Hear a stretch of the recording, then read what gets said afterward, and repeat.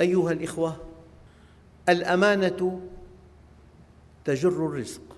دققوا هذا قانون الأمين موثوق يتمنى الناس أن يشاركونه. يعطيه الناس أموالهم ليتجر بها. يعني أكبر ثروة تملكها على الإطلاق أن تكون أميناً.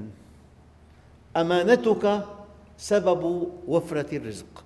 في حديث آخر الأمانة غنى بالمعنى المادي. هلا بحقل الأعمال التجارية.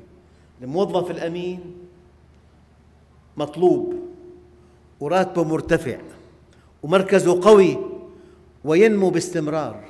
الأمانة غنى. الوفاء والصدق يجران الرزق. إذا واحد بشركة وفي بصاحب الشركة.